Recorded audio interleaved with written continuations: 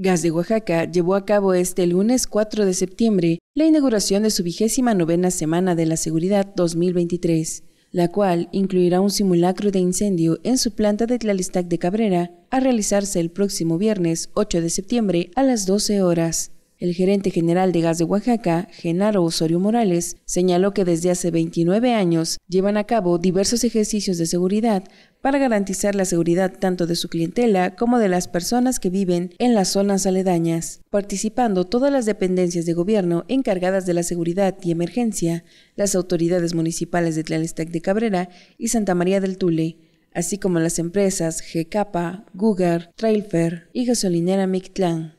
Pues no es otra cosa más que reafirmar lo que hemos llevado durante 29 años. Nos ha interesado mucho la seguridad tanto del personal como de la zona conurbada.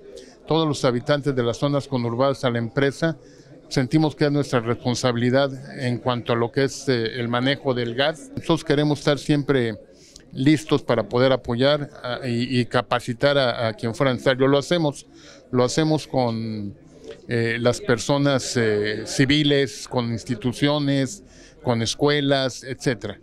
Por su parte, Serafín Mendoza Garcés, gerente de la planta y operaciones, informó que es importante llevar a cabo estos ejercicios, ya que ellos realizan cada año la actualización de su plan interno de protección civil, complementándolo con los simulacros para atender todas las posibles hipótesis de riesgo que se pudieran presentar en esa planta. Pues mire, lo principal es este, ejercitar nuestras brigadas, todo el plan de emergencia que tenemos establecido en Gas de Oaxaca.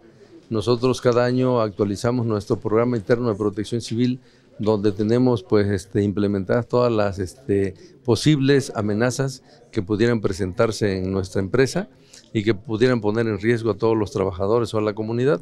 El incendio que vamos a hacer es un incendio de fuego y, lo hacemos dentro de la empresa con todas las medidas de precaución, pero es un fuego.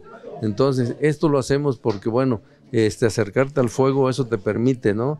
Eh, sacar toda la adrenalina y, y, realmente es cuando te este, valoras y te das cuenta si tienes esa capacidad de poder afrontar y poder ingresar pues a un lugar de riesgo como tal, ¿no?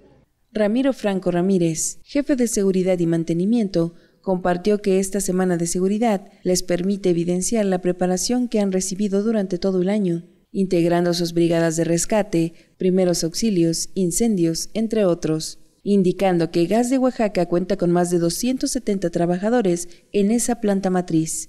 Y para el simulacro, desplegarán a más de 100 brigadistas, además de 60 personas de los cuerpos de auxilio de las diferentes dependencias. Durante esta la semana de seguridad se ejecutan diferentes escenarios de principalmente los que se pueden llegar a suscitar en este centro de trabajo, como es fuga de gas, explosiones, eh, incendios.